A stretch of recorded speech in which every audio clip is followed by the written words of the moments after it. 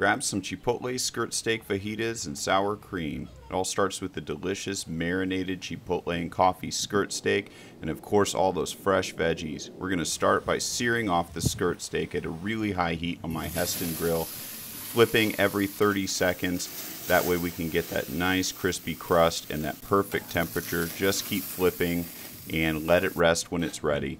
Fire up that other burner with your Hestan Nanobond pan. This pan can take the heat. Let's go ahead and add some oil, the veggies, some salt.